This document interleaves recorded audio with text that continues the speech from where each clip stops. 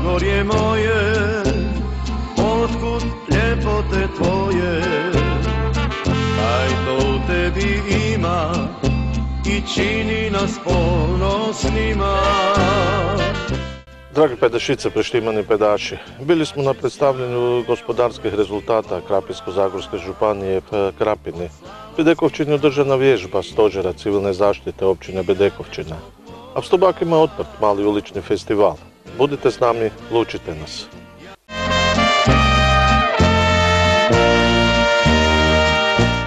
Predstavljeni su gospodarski rezultati Krapinsko-Zagorske županije za lanjsko ljeto. Uspješni projekti, ali i dobra poslovna klima polučili su gospodarskim rastom diljem županije.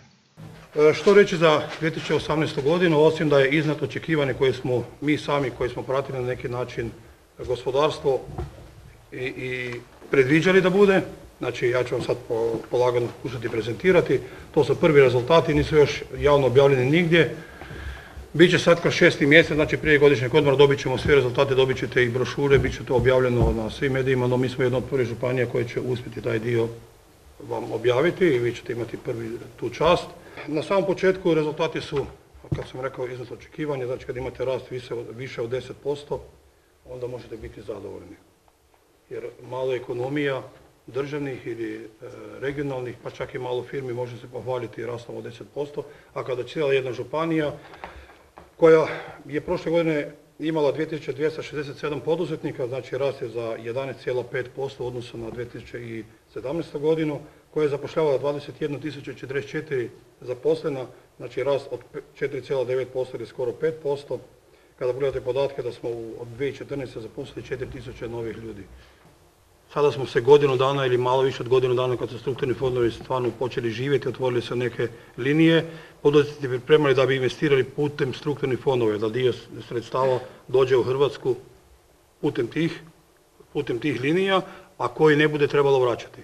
To je mogućnost da ćemo lakše, lakše na neki način investirati, da će se odlučivati za investicije koje će na kraju krajeva biti ve- više dohodovne, veće dodane vrijednosti, koje će trpiti i skuplji rad i moći ćemo platiti skuplje. Daljnji planovi idu za poboljšanjem kvalitete života, povećanjem plaća, povećanjem broja radnih mjesta, ali za razvojem uspješnih i konkurentnih tvrtki. Da li se planiralo konzervativno ili nije, o tome je teško reći. Ja mislim da je bilo planirano realno, ali da je kvaliteta znači zagorskog gospodarstva, kvaliteta proizvoda, prepoznatljivost na, na europskom i svjetskom tržištu dovelo do tog rezultata, jer rast sa 11 milijardi 762 miliona na preko 13 milijardi je jedan sjajan doseg, kao što je rekao predsjednik, rast od 10,6%, ali treba isto tako konstatirati da su e, rashodi rasli čak nešto više od prihoda, 10,9%, a posebno se to e, vidi u dobiti, da je dobit rasla prije oporezivanja 5,5%, a nakon oporezivanja 3,7%. To znači samo da su troškovi poslovanja porasli, a to zbog toga što su energenti ponovno poskupili, a prije svega govorimo o poskupljenju struje. Plin će vjerojatno ove godine u četvrtom mjesecu i ono što je definitivno, što je bilo vidljivo iz onih grafova, da su ozbiljno je porasla e, plaća djelatnicima, jer samo na taj način su zapravo i mogli e, naši gospodarstvenici zadržati kvalitetnu e, radnu snagu.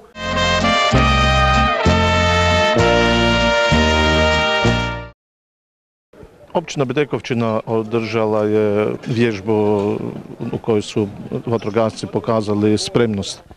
E, Civilna zaštita općine Bedekućine, vatrogasna zajednica općine Bedekućine i Zagorska javna vatrogasna postrojba. Na lokaciji srednje škola Bedekućina je smo jednu vježbu. Dobro je sve dok se ništa ne desi, ali kad se desi moramo biti spremni. Evo tu su najaktivniji naši vatrogasci, odazvali se sve članice naše vatrogasne zajednice, znači DVD Bedekućina, DVD Poznanovec, DVD Kebel, DVD Orejovica i DVD Brestec Orejovički su ovdje po punom spremom i pokazali smo da smo i u situacijama. Ako se desi neka elementarna nepogoda, ako treba evakuacija ovakve ustanove kao što je srednja škola, mi smo spremni, možemo djelovati i e, eventualne nesreće smanjiti na najmanj, najmanju moguću mjeru. E, Kakva je znači situa- situacija s e, tim službama koje su odgovorne za ovakve stvari na području općine Bedekovčina? Koliko ih se sufinancira? Koje su sve? Znači, prema zakonskim okvirima vatrogasna zajednica općine Bedekočina je u proračunu općine Bedekočina u postotku. Znači, prema proračunu 4% od proračuna izdvaja se za rad vatrogasne zajednice. Kao što sam naveo, naša vatrogasna zajednica sastoji se od 5 DVD-a u koje e, prema veličini raspoređujemo sredstva. Može se vidjeti od nas iz priloženoga da su sva naša društva i sva naši DVD opremljeni sa znatnim, znatnom opremom, znatnim vozilima i da mogu djelovati u svim situacijama jer kako, kao što je ova danas jedna e, slikovita jedan prilaz, prikaz jedne eventualne nesreće i evakuacije u ovakvoj ustanovi. Kakva je ocjena današnje vježbe u Bedekovčini?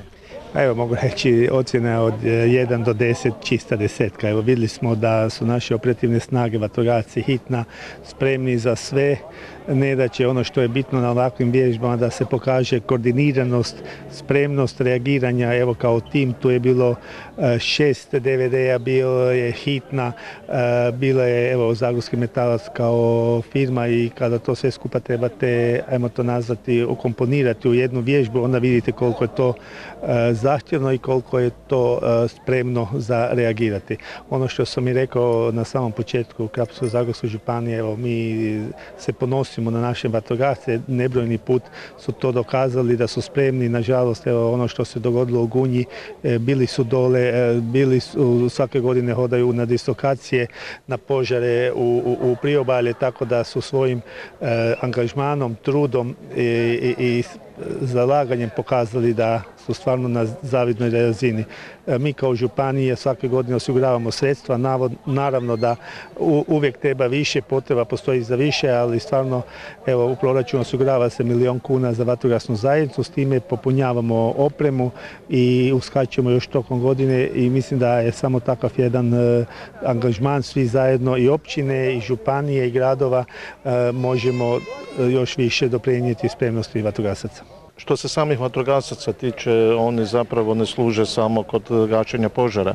Pa tako, evo, na, nažalost, moram reći, sve više je intervencija i stvarno spominjemo da od, e, kako se veli, mačke na vrućem limenom krovu, pa do ledenih kiša, poledica, e, stabala, evo, nažalost, ove nevrijeme, olujni vjetar što trga granje, e, što po cestama, što po dalekovodima, vatrogasci su prvi koji izlaze, prvi koji saniraju te stvari, tako da e, i pokazalo se da e, sama intervencija na požarima više nije e, broj jedan, nego je sve više i od tehničkih intervencija, a naravno tu se pokazuje i druge intervencije na prometnim nesrećama koje stvarno, evo koliko god smo mi turistička zemlja, koliko god smo mi tranzitna županija, nažalost prometne nesreće se događaju, a tu su opet vatrogasci uz hitnu koji prvi reagiraju. Naravno tu su i, i, i ministarstvo unutarnjih naša policija, ali stvarno pokazuju da e, svi zajedno su na jednoj zavidnoj spremnosti.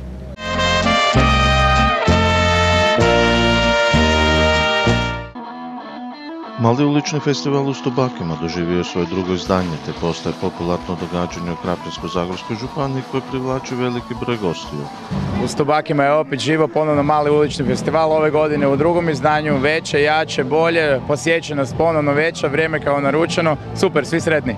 Čekuje sve posjetitelje puno glazbe, smijeha, plesa, šarenila, dobre hrane, dobrih koncerata, dobrih kazališnih predstava, ali konkretno u nedjelju. Nedjelja je rezervirana od ranog jutra za naše najmlađe, pa tako u 9 sati startamo već sa radionicama interaktivnim za klince. Nedeljna događanja su podijeljena u dva termina. Jutarnje traje do 12 sati kad je pauza za ručak. U 10 sati je odlična predstava za djecu i nakon toga radionice sve do 12 sati. U 12 sati pauza za ručak i ponovno festival počinje u 16 sati e, kada smo ugostili e, Gradski puhački orkestar grada Zaboka koji će izvoditi e, tematsku filmsku glazbu. Nakon toga imamo ponovno još jednu predstavu za djecu za kraj imamo predstavu Tajkuni u izvedbi e, glumačke udruge Histrioni. E, Koliko se očekuje da bi trebalo e, ljudi proći kroz e, Stubake u ta tri dana? Pa za točno duplo više nego lani. Očekujemo maltene 8000 ljudi kroz ova tri dana ove godine.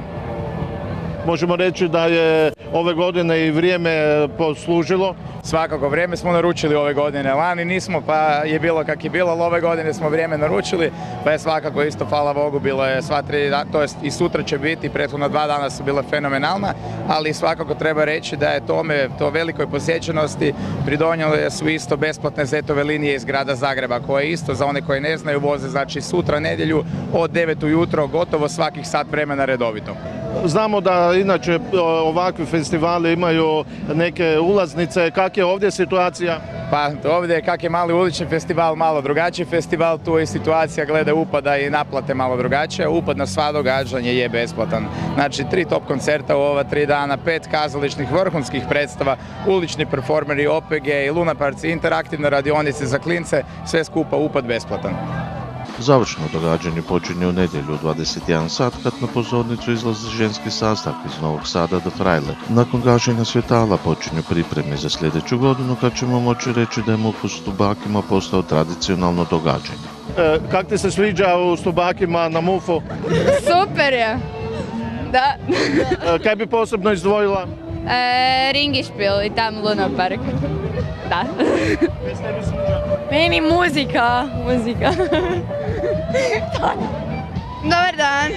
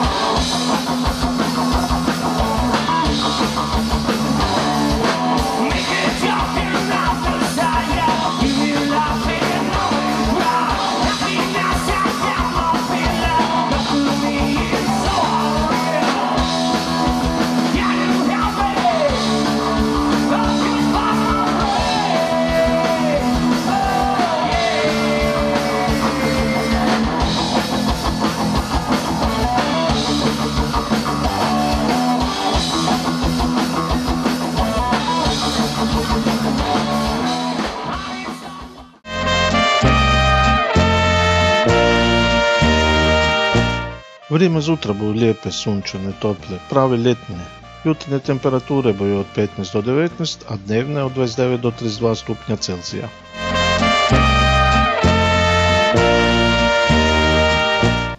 Dragi moji, nadam se da vam se današnja emisija dopala. Če imate kaj zapovedati ili hoćete da neke dojdemo posnimiti, pošljite nam elektronsku poštu ili nazovite na broj na ekranu. Isto tako morate poslati SMS poruku ili na, spoišćite na Facebooku ili YouTubeu i napišite Zagorska televizija i našli nas budete. I budite zdravi, mladi, lijepi i veseli. Zutra je nedelja i vidimo se u pol dve vura.